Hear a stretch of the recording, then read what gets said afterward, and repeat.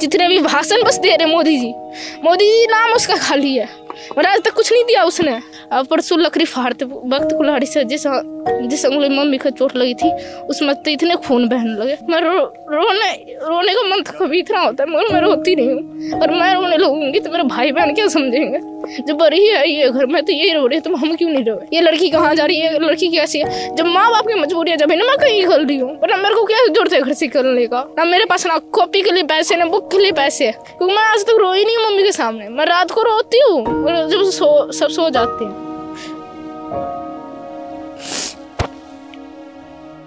मोदी जी के नाम ले ही ना मोदी जी से मेरे को इतनी तकलीफ़ है ना, मोदी जी के नाम सुनते मेरे को इतने छो आते हैं।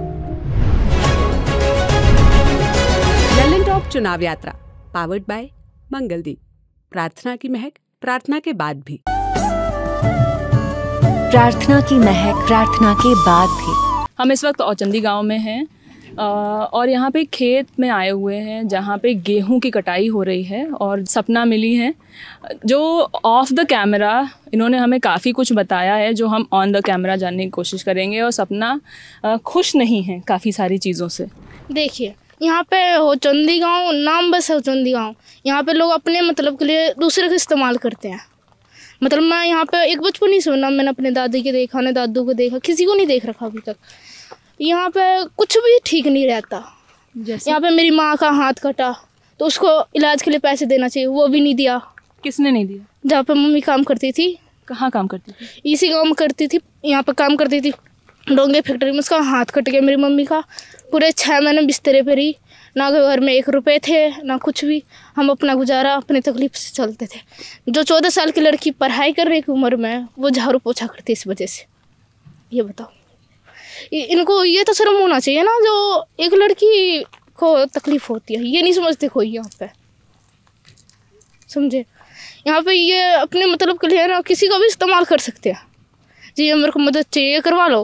फिर उसके बाद जो दूसरे को हेल्प चाहिए ना वो आगे से बोलेंगे मेरे को हेल्प चाहिए। बोलेंगे अब मैं आपका जानते ही नहीं। मैं आपको क्या कहूँ?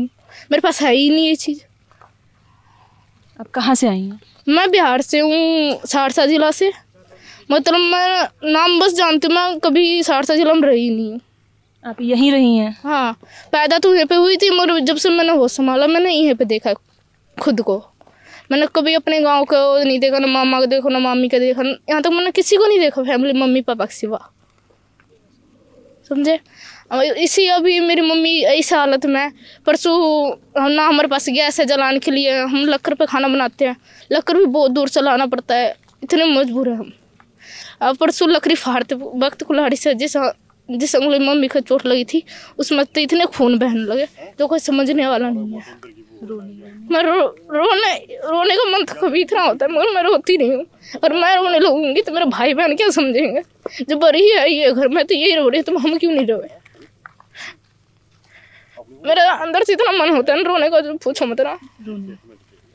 पर मोदी जी तो कहते हैं कि उज्ज्वला योजना है वहाँ पे उसमें सिलेंडर मिलता है मोदी जी खाना बनाने के मोदी जी सिर्फ़ कह रहे हैं और कुछ दे नहीं रहे।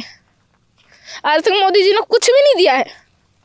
जितने भी भाषण बस दे रहे मोदी जी। मोदी जी नाम उसका खाली है। और आज तक कुछ नहीं दिया उसने।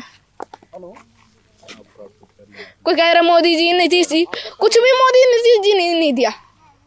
आंदोलन खाली नाम का हो रहा है, मोदी जी मोदी जी। मोदी जी क्या दे रहे हैं? जब तक हम खुद अपने मर्ज़ी से, अपना मेहनत से काम नहीं करेंगे, जब तक मोदी जी खुद दे ही नहीं रहे। हमारे बैंक का खाता है, स्कूल में पैसे नहीं देते। सारे बच्चे खाते पैसे। कंप्लेन करी है स्कूल में? कई बार करी है। कंप्लेन करते हैं मगर कुछ बोले जब ना आगे से। कोई कुछ नहीं बोलता। मैं बोलूँ तो मेरे को सब गलत समझते हैं। हमारे पड़ोस में ऐसे हैं जो मेरे से इतने चिढ़ते हैं ना जो मेरे को कोई देखना नहीं चाहता। ये लड़की कहाँ जा रही है? लड़की कैसी है? जब माँ बाप की मजबूरी है जब ना मैं कहीं खोल रही हूँ पर मेरे को क्या ज़रूरत है घर से करने का? कहाँ है स्कूल तुम्हारा? दो चार निगाह में बड़े स्कूल में पढ़ती हूँ। नौवीं क्लास में। नौवीं क्लास में सरकारी स्कूल है ना? हाँ। इत- इतने छोटे छोटे मेरे भाई बहन हैं। उनको पढ़ाने तक हमारी हौसला नहीं है। ना मेरे पास ना कॉपी के लिए पैसे ना बुक के लिए पैसे। ना मैं स्कूल जा पा रही हूँ। मैंने तीन पेपर नहीं मिस कर दिए। कौन कौन से पेपर मिस किए? हिंदी का कर दिया इंग्लिश का कर दिया संस्कृत का कर दिया। इस वजह से। जब मम्मी का मैंने देख देख रख मेरी मम्मी अगर आती ना तो मेरी मम्मी मैंने मेरे को मम्मी ने रोते कभी नहीं देख रखा है। मेरे पहली बार आँसू आते हैं तो मम्मी की तकलीफ़ हो जाती है मम्मी को, मेरे को। क्योंकि मैं आज तक रोई नहीं हूँ मम्मी के सामने। मैं रात को रोती हूँ जब सो, सब सो जाते हैं। मोदी जी मोदी जी के नाम ले ही ना मोदी जी से मेरे को इतनी तकलीफ़ है ना, मोदी जी के नाम सुनते हैं मेरे को इतने छो आते हैं। मोदी जी करे क्या है? जब खुद हम अपने बल पे सारा कर रहे हैं तो मोदी जी का नाम क्यों है? वो उनसे बोलो मोदी जी से।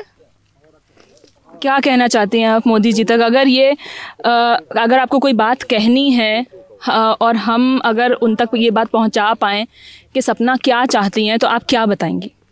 मोदी जी से यही निवेदन है जो इतने सारे मजदूर है उसमें से कोई जरूरतमंद भी है कोई सहायता भी है तो उनकी सहायता करो ना आप। आप जिसको सहायता की ज़रूरत नहीं है जिसको आप उसको सहायता करोगे। पुलिस को आप अपनी मर्ज़ी से पैसे दोगे। पुलिस को पैसे दे तो सेवा के लिए। वही पुलिस सेवा ना करे और कुछ करे वो आप देखने से थोड़ी नहीं जाते पुलिस क्या करती है। पुलिस किसी बच्चे से झाड़ू पोछा करवाती है। वो पुलिस ये नहीं समझती जो ये बच्चे पढ़ने लिखने के इसको भी कोई सपना होगा बनने का। कहाँ देखा तुमने कि पुलिस झाड़ू पोछा करवा रही है? जब मैं खुद कर रही हूँ। आप आप कहाँ काम करती हैं? यह करती हूँ पुलिस का। वो पुलिस अधिकारी हैं? हाँ यहाँ के आसपास गाँव के ये क्या कहते उसको? हम्म, वही है। मतलब यहाँ के जितने भी इलाके हैं उनके उसमें है। उनके अंडर में आते हाँ। हैं। हाँ उनको ये नहीं समझ में आता किससे कैसे बात करनी चाहिए? यहाँ तक चलो पुलिस के माने वो जेंट्स है लेडीज़ की बात नहीं समझती। उनके घर का कोई समझता ही नहीं लेडीज़ का बात दिल की बात। बोले तो बोले वो नौटंगी क्यों कर रही है? नौटंगी है ये। जब दूसरे के दिल का तू समझ ही नहीं रही तो तेरे को पुलिस ने किसने भर्ती कर दिया? पुलिस होता है सेवा करने के लिए जरूरतमंद की हेल्प करने के लिए। जैसा कि आपने देखा सपना ने हमें बताया कि क्या दिक्कतें हैं। सिर्फ़ बातें कहने के लिए नहीं होती है मन से भाषण देना अलग बात है और ज़मीनी हकीकत कुछ और होती है। आ, हम आप तक ऐसी ही खबरें और लाते रहेंगे। आप हमारे साथ बने रहिए ललन टॉप देखते रहिए। शुक्रिया।